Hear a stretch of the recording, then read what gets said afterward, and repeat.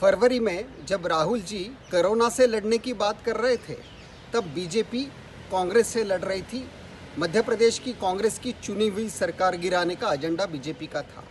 अब जब कोरोना चरम सीमा पर है, तब बीजेपी का एजेंडा इस देश में राजस्थान की जो कांग्रेस की इलेक्टेड गवर्नमेंट है, वो गिराने का एजेंडा बीजेपी ने बनाया है।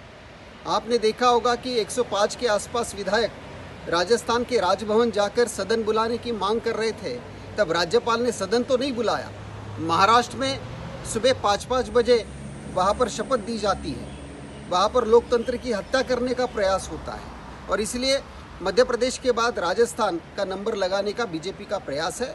लोकतंत्र की हत्या आप कर रहे हो, कोरोना से तो लड़ नहीं पा रहे हो और इसीलिए अब समय है बीजेपी की इस मनमानी के खिलाफ बात करने का। चलो लोकतंत्र बचाए, लोकतंत्र की रक्षा के लिए आवाज़ उठाए।